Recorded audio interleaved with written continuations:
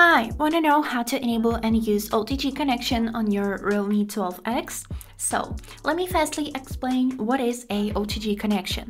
So basically this feature is created so you can get better compatibility with any USB flash drive that you are connecting to your phone.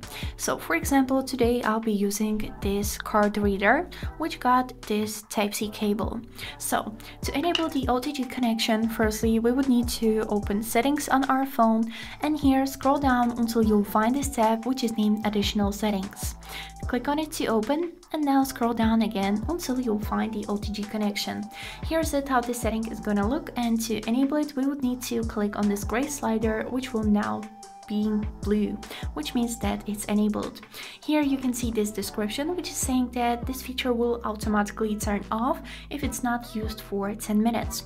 So now let's connect our card reader and take a look how it works.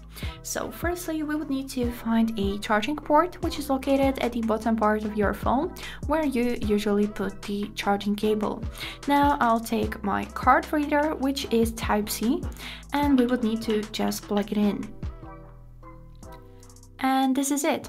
After this on your phone should automatically open the Files application where you'd be able to find your flash drive named as a OTG. Here is it, you can see it.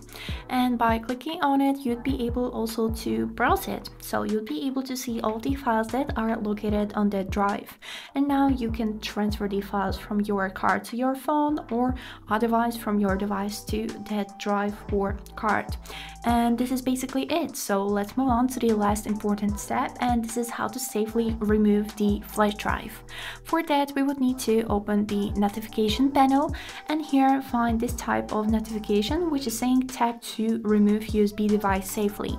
So everything is set, we just need to click on this notification and after this we can safely remove our drive. And this is it. I hope this video was helpful for you and thank you for watching.